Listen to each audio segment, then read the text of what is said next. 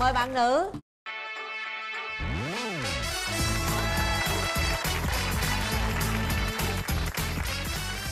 Chúng ta sẽ giới thiệu về mình cho đối phương bên kia biết.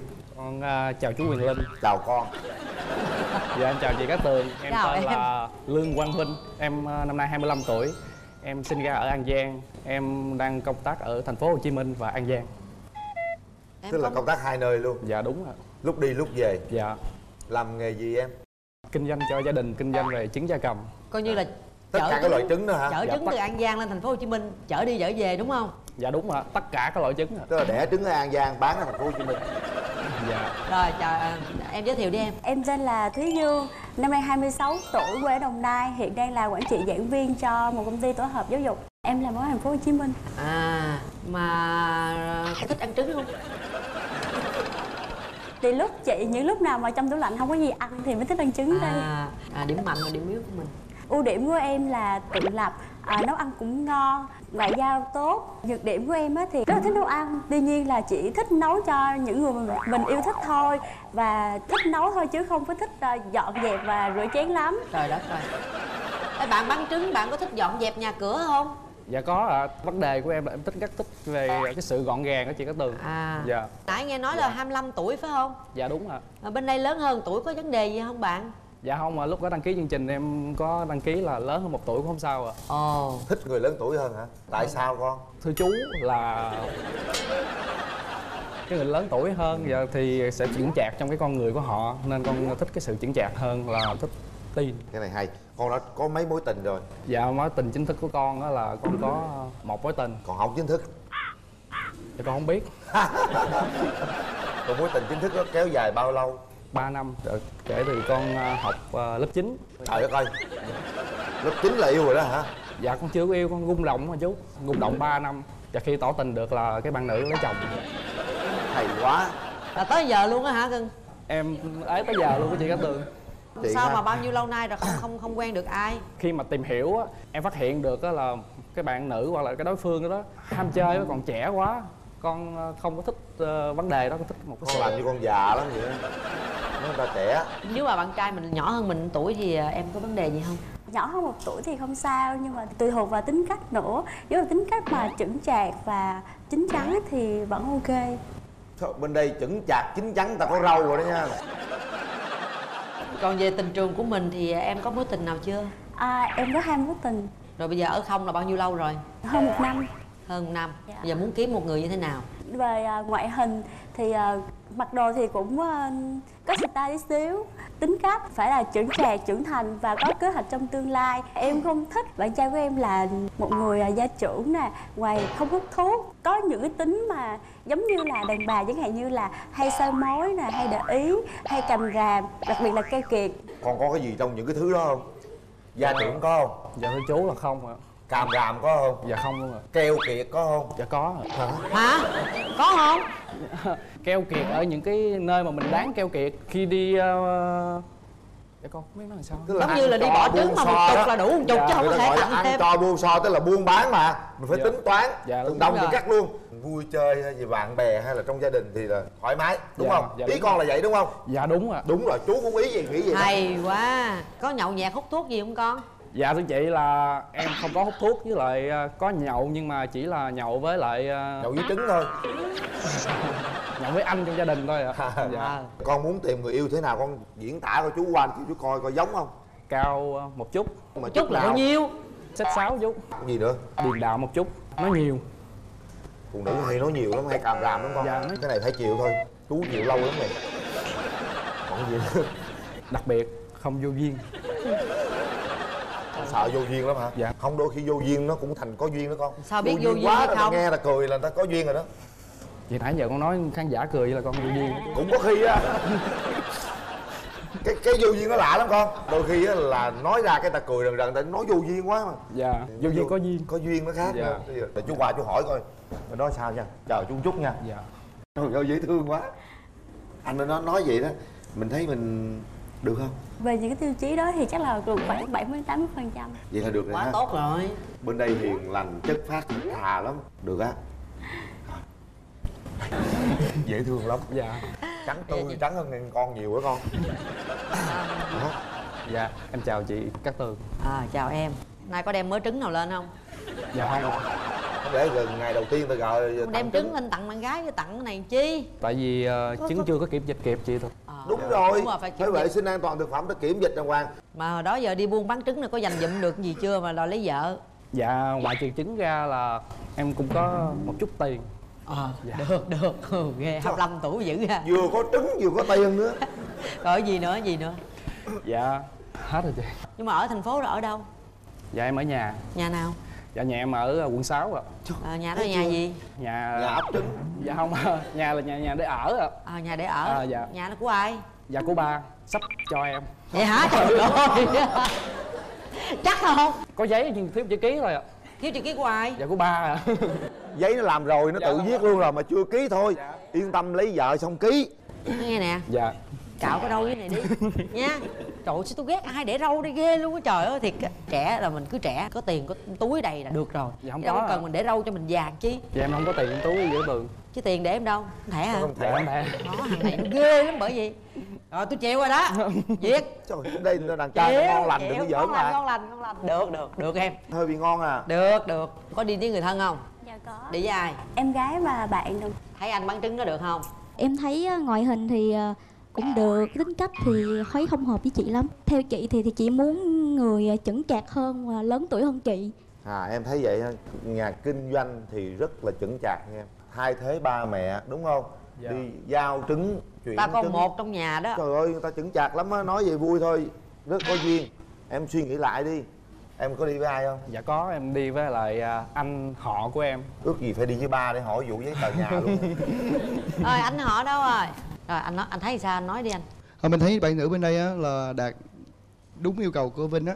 Rất là chững chạc rất là dễ thương. Dạ. cố gắng nắm bắt bằng hiện. mọi giá nghe Vinh. Được á. Thôi bây giờ cho hai trẻ gặp nhau cái đi ha. Kéo màn lên. Rồi. Đàn trai dễ thương lắm nha. Nào. Chào bạn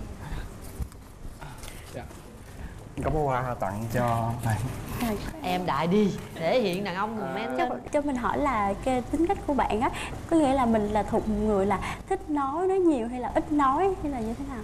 À, cái tính cách đó cũng là phụ thuộc vào cái môi trường tức là một cái môi trường như là một cái sân chơi nào đó thì mình sẽ hòa ờ, hòa hợp vào đó để mình nói nhiều để cho cái không khí lên. Khi mình đi công việc hay là đi công tác á, thì ờ, mình là ít nói lại mình lắng nghe khách hàng nhiều hơn. Hoặc là giống như là hôm nay nếu mà được hẹn hò với bạn thì mình sẽ ít nói để lắng nghe bạn nói nhiều hơn. Thấy chưa? Quá hay. À, lúc nãy thì mình cũng có chia sẻ hiện tại là công việc của mình ở Hồ Chí Minh. Thì nếu như mà mình muốn ở Hồ Chí Minh thì sao? Cũng chấp nhận được tại vì đó là nhà quận 6 nhà quận sa à, tại vì tại vì á mình à, kinh doanh kinh doanh á thì chắc tương lai thì mình cũng sẽ ở thành phố Hồ Chí Minh thôi. Bạn rất thích ngăn nắp gọn gàng nhưng mà không có bạn. Ở đây không ai là bạn của bạn hết trơn anh rất là thích ngăn nắp và gọn gàng nhưng mà đôi khi á, thì em nói em rất thích nấu ăn nhưng mà không thích dọn dẹp rửa chén. Cái con đường mà đến tình yêu á là đi ngang cái bao tử chỉ cần em nấu ăn ngon là anh vui vẻ anh sẽ dọn dẹp hết không sao cả. Bây giờ về miền tây á là phải biết hát cải lương. Em có biết hát cải lương không? À, em không biết hát chỉ biết là mc thôi. Em giờ em đứng lên em giới thiệu. Làm mc em giới thiệu sao đó rồi bạn kia hát. Em ngồi từ ngồi đó từ rồi đó hai người làm đi Lần đầu tiên xin cho phép Thùy Dương gửi lời chào đến tất cả quý vị khán giả đã đến với chương trình Bạn Muốn Hẹn Hò. Hôm nay chị à, Cát Tường à, đang trong giai đoạn hẹn hò và hâm nóng tình yêu cùng với bạn trai ở Hawaii. Cho nên là Thùy Dương sẽ thay thế chị Cát Tường dẫn chương trình ngày hôm nay. Thì rất là hy vọng nhận được sự ủng hộ cũng như là sự yêu quý của quý vị khán giả dành cho Thùy Dương như là đã dành cho chị Cát Tường ạ. À, sau đây chúng ta sẽ đến với à, một à, ca khúc của một bạn nam tham gia chương trình ngày hôm nay. Để phù hợp với lại cái không khí rất là vui nhộn và ờ, vui nhộn và vui nhộn vui nhộn là mệt á. À, để hâm nóng ờ, cuộc tình giữa chị Cát Tường và chú Quyền Linh. Em xin ờ, gửi đến ờ, một trích đoạn ờ, cải lương phù hợp với lại không khí đó là tiếng trống Mai Linh. Được được được chào giờ con ca khúc đầu hay là điệp trời tôi muốn đoạn nào nào hay nhất? Phu nhân, phu nhân ơi khăn trống đêm nay sẽ làm trắng đêm tâm sự. Thì ba lại tạ từ của phu nhân cũng tròn tình vẹn nghĩa. Dạ hết. Vậy thôi hả? Dạ. Giới thiệu hoành tráng ngồi hát bể. Lỡ tao bán vé rồi ra bể kèo thiệt luôn á. Đứa bạn làm trai coi chút đi bữa coi hoành tráng coi thôi Mây vừa ghé qua hai sừng Mây vừa ôm em đây Sau khi dù tìm tâm Em vào tìm bờ môi phai. Một hai ba bấm nút. Nó hư rồi. Bây giờ à, chúng ta nói chuyện về tình yêu. Khi mà kéo màn lên khi gặp được em á thì bây giờ thì à, rung động rồi. Chắc chắn là anh sẽ à, nắm bắt cái thời cơ đó. Chưa gặp thì em nghe cách nói chuyện như vậy Thì chắc chắn là đúng là như em nghe em nói sẽ không phù hợp Nhưng mà khi gặp lại thì thấy ờ, cũng không như lúc đầu em nghĩ Cho nên là em đang cảm thấy hoang mang. Cái đó không phải là hoang mang đó là sự thay đổi diệu kỳ đó em. Chúng ta sẽ có những cái phút à, những giây suy nghĩ thật kỹ để nói lên tiếng nói của con tim mình. Một. Ba. Xong rồi đó một hai ba đó. Hai ba hết thời gian.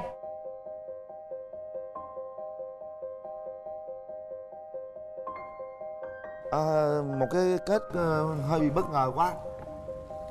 Lý do tại sao con không bấm? Câu cuối à, thì dương nói là đang hoang mang. À, những lúc như vậy á trùng bước. Thì à, nếu đã trùng bước rồi á không có cố gắng rồi thì à, bản thân con cũng sẽ là gọi là bất lực trong cái vấn đề mà gọi là bồi đắp thêm nữa. Bạn gái Em chưa cảm nhận được cái cái thôi cái đó là chủ quyền lựa chọn các Dù bạn. sao cũng rất là tôn trọng quyết định của hai bạn. À, mong rằng các bạn sẽ có nhiều cơ hội nữa. Đây là cơ hội tôi nghĩ rằng rất là tốt mà các bạn đã bỏ qua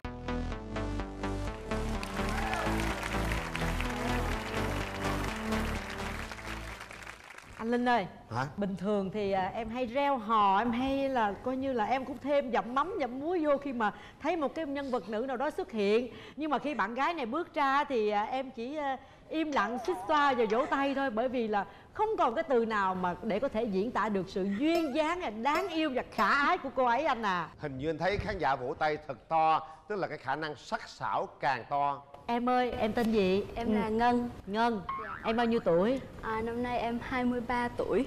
Ngân 23 tuổi. Ngân làm gì nè? Dạ em là nhân viên văn phòng ạ. Nhân viên văn phòng. Vậy là công việc hàng ngày của em tất nhiên là cũng sẽ tiếp xúc được rất là nhiều các đồng nghiệp phải không? Vậy mà chưa có ai hẹn hò sao? Thì bữa nay có nè. Thì em hỏi tí đó mà anh nôn Từ lắm từ thôi để chàng trai tôi ra cái đã. Để từ từ nghe thông tin không có không có hết Và bây giờ chàng trai chúng ta sẽ làm nghề gì đây? Bao nhiêu tuổi? Xin mời chàng trai. Chào bạn. Xin mời bạn. Wow. Tôi đoán không lầm hình như sếp à nha. Mời ngồi mời ngồi. Sếp hả anh? Sếp sếp nha. Bên đây làm nhân viên thôi. Bạn tên là gì? Em à, tên là Lê Bạch Xuân. Tên cũng rất là lạ ha. Hơi bật. xuân tức là mùa xuân rồi trỗi dậy đúng không? Kiểu qua mùa đông là bật lên mùa xuân đó. Bạn bao nhiêu tuổi rồi? Dạ em sinh năm 85, 28 tuổi. 28 tuổi. Làm nghề gì? Em là chuyên viên kinh doanh của tập đoàn Hợp Nhất. Chuyên viên kinh doanh bên kia là nhân viên văn phòng. Thôi bây giờ để em khai thác bạn gái em một tí nữa là tiếp xúc nhiều với đối tượng khách hàng cũng như các đồng nghiệp mà tại sao em em chưa tìm được đối tượng hẹn hò cho mình hả? Thứ nhất là đồng nghiệp công ty thì em nghĩ rằng có chủ hết rồi. Mình Rồi. không thể hái lung tung được. Rồi còn à, khách hàng thì à, chỉ có đại gia và đại thiếu gia thôi Mà đại gia thì lại là quá tuổi Còn đại thiếu gia thì lại còn bé quá. Công việc của em là em tiếp xúc nhiều vậy chắc là em có nhiều cái ưu điểm. Em tự giới thiệu về bản thân mình đi. Em là người rất là hoàn hảo. Hoàn hảo nha. À, Vui vẻ, nhiệt tình. Ưu điểm vui vẻ hoạt bát tự tin. Đó bên kia sao? Chứ bên đây là nhiều ưu điểm dữ lắm luôn. Ở bên kia đó là thiếu gia không thích nè đại gia không thích nè. Bên đây nhiều gia thích hơn. Nhiều da bạn cũng ờ, làm văn phòng nhiều đúng không? Tiếp xúc rất nhiều đẹp trai thế này. Tại sao bạn vẫn ê ê ê sắc ế Em tiếp xúc nhiều nhưng mà toàn tiếp xúc với các bà các cô nữa. cũng giống bên kia luôn. Các cậu ờ, các em nhỏ. Đây các bà các cô. Dạ. thành ra là chưa tìm được hả? Hay là bạn nhát quá? Dạ không không nhát ạ. Bạo quá nên đôi khi là cái sự mạnh bạo quá của mình thì à, khiến cho con gái có cảm giác như là anh ấy có người yêu rồi. Cái gì mạnh bạo ý bạn nói nếu mạnh bạo quá mạnh bạo quá. Ờ mạnh bạo quá thì người ta tưởng có người yêu rồi. Dạ. nhưng mà thật sự là tôi không tin là bạn đẹp trai thế này mà bạn ờ, chưa có người yêu. Đúng rồi ai như anh mà. Ai nghĩ vậy hả? Đúng rồi ạ. Thế nên là ế. nhưng thật sự là đó giờ bạn có trải qua mối tình nào chưa? Dạ có có hả? Dạ. mấy mối? Đếm thì ba mối ạ. Mối nào dài nhất? Mối đầu ạ. Bao nhiêu lâu? Ba năm ạ. Mối ngắn nhất? Một năm ạ. Lý do tại sao không đến với nhau được? Tại vì cứ đến với em là cô ấy đi lấy chồng thì trời vì vậy? cứ đến mình đi lấy chồng. Dạ vâng. Mình phải tìm ra nguyên nhân tại sao chứ. Có thể là do khuyết điểm của bạn nhiều quá. Không có. Không có khuyết điểm. Bạn là người hoàn thiện giống như bên kia luôn à, thôi để để để em hỏi bên này nè. Em ơi em đã yêu bao giờ chưa? Ừ, dạ rồi ạ. Rồi tại sao những cái mối tình đó không được? Hoàn cảnh đưa đẩy. Hoàn cảnh đưa đẩy sao em không đẩy đưa lại? Tại vì hai người sống ở hai nơi khác nhau ạ. À gọi là xa mặt cách lòng. Dạ không. Chứ Chỉ sao? yêu nhau không thể đến được với nhau. Yêu nhau mà không đến được với nhau. Nên à, chia tay là tốt cho cả hai ạ chia tay sớm bớt đau khổ. Dạ. chị thấy em rất là phóng khoáng nè. Thì em có sẵn sàng là tỏ tình hay là là là mình mình mình phải thể hiện trước không? Rất rất rất rất là nên. Bên đó có dám đón nhận không? Chứ bên đây là dám thể hiện rồi đó. Dễ gì? Tỏ tình trước dễ gì không nhận? Có có một sự chấp nhận nhẹ. Chấp nhận nhẹ. Rồi à, bởi vì thường thì em chưa bao giờ phải để cho bạn gái tỏ tình trước em. Nếu bạn gái tỏ tình trước thì em nghĩ người con gái nó như thế nào? Đồng ý luôn ạ. Từ từ bên đó khoan mừng vội. Người ta sẵn sàng tỏ tình trước với điều kiện bên kia phải đáp ứng được những cái yêu cầu của bên này đúng không em? Dạ. cái người đàn ông lý tưởng của em như thế nào? Em nói lớn bên kia nghe coi bên kia có đáp ứng được hay không. Anh trai ơi nghe giùm em nha. Anh trai ơi nghe giùm em nha. Anh nghe đây em ơi. Thứ nhất anh phải là con trai nha. Anh chuẩn nghe em ạ. Đúng rồi một lát anh linh kiểm tra mấy cái đó giùm em nha. Rồi tiếp. Người con trai phải à, mạnh mẽ. Mạnh. Mạnh bên đây rất mạnh á. Rồi. Tôi thấy mạnh lắm á. Gì nữa gì nữa? À, có nụ cười tỏa nắng. Nụ Wow. cười tỏa nắng. Bây giờ đang ngồi trong phim trường không thấy nắng. Cười thử coi có tỏa nắng không? Dạ, tỏa nắng thì không to Rồi em cười xong mà cười ơi, giờ nghe trời mưa cái là cảm chết luôn. nào? Em thường là cười cười kiểu này. Em đâu? hàm dưới vì hàm dưới em xấu coi gì khó à nha. Có nắng không anh? Có có có hơi hơi hơi. Có hả có hả? Rồi rồi tiếp tiếp còn gì nữa không em? Lông râu đầy đủ. Lông râu đầy đủ. Cái gì cái gì? Dạ dạ.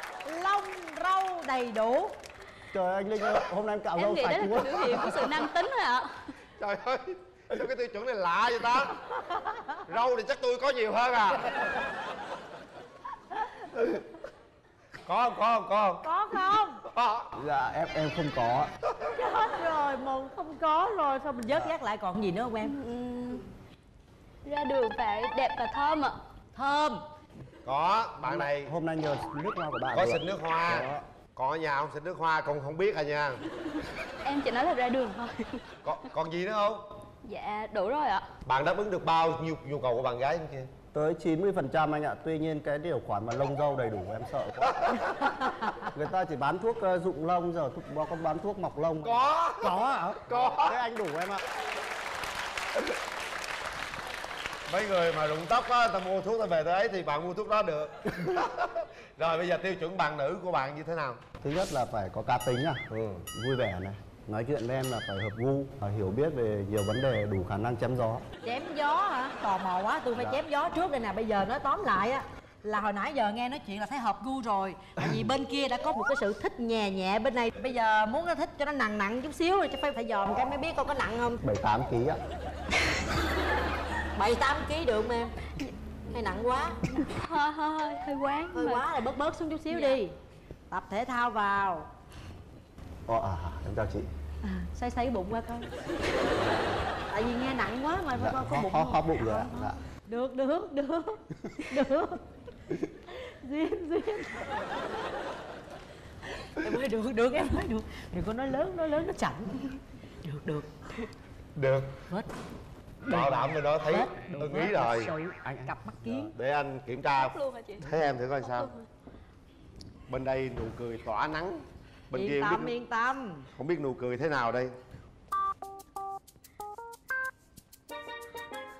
Em cười cái coi em. Trời ơi!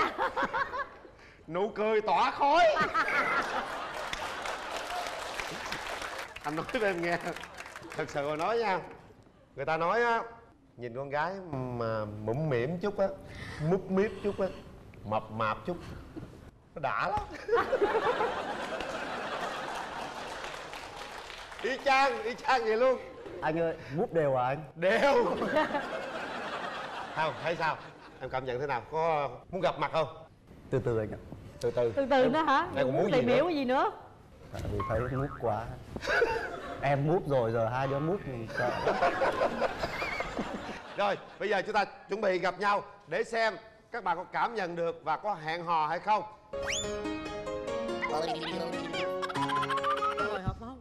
chuẩn bị chúng ta sẽ có 2 phút trò chuyện với nhau và có đồng ý hẹn hò hay không. Chuẩn bị màn kéo lên.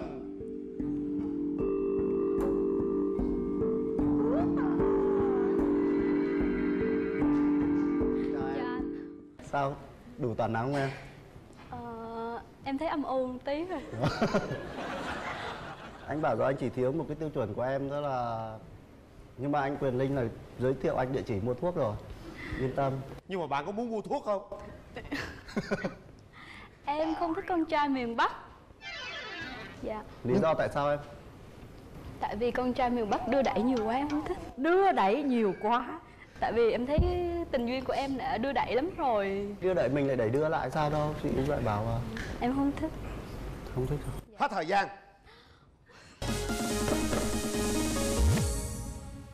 mặc dù một bên đã nói rằng là em không thích con trai miền bắc Suy nhưng trong ánh mắt của cô ấy hình như có điều gì cũng còn bí ẩn nữa. Chúng ta chuẩn bị chạm tay vào nút.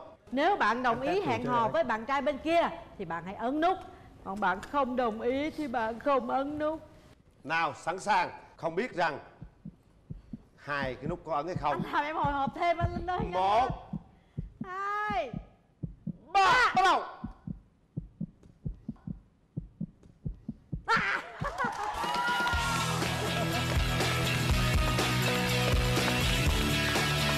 sao vậy em? Ủa sao vậy? em nói em không thích người bắc mà thấy sao chưa tôi thấy hình như bạn ấy nói như vậy nhưng trong ánh mắt ấy có điều gì bí ẩn? Tại sao lại như vậy? hả bạn? Nói cho mọi người coi. Em nghĩ rằng là thà hút lâm còn hơn bỏ sót à cái slogan này ấn tượng rồi nha. Bạn cảm nhận thế nào mà khi mà bạn à, bạn gái nói như vậy? Khi mà bạn gái nói là không thích trai bắc thì em rất là lo lắng. Vốn nghĩ là trai bắc thì giờ được làm thế nào thay quê được. Bảo lông không có thì em còn mua thuốc được chưa bảo giờ trai bắc bảo trai nam không được. Nhưng mà nhà người ta hốt rồi đó thì cảm giác làm sao khi người ta đòi hốt? Hơi hồi hộp. Vì chưa cô nào đòi hốt em mà toàn em hốt rồi à. hai bạn có thể nắm tay nhau cảm nhận như thế nào? Mời hai bạn. Mà hai bạn nắm tay nhau để cảm nhận có phải bắt đối tác đâu bắt tay không phải là bắt tay mà Không phải là bắt nắm tay, tay, nắm nhau. tay nhau. nắm tay nó khác bắt tay rồi em mà bạn cảm nhận thế nào với cái nắm tay đó Có vẻ mạnh mẽ bây giờ chị thay mặt chương trình à, gửi tặng hai em cặp vé đi xem phim rồi còn cái chuyện mà ấm hay không hay nóng hay không gì đấy chúng ta vào cái đập phim chúng ta sẽ tiếp tục khai thác nha Dạ. cảm ơn chị ạ cảm ơn hai chúc em các bạn nhiều. hạnh phúc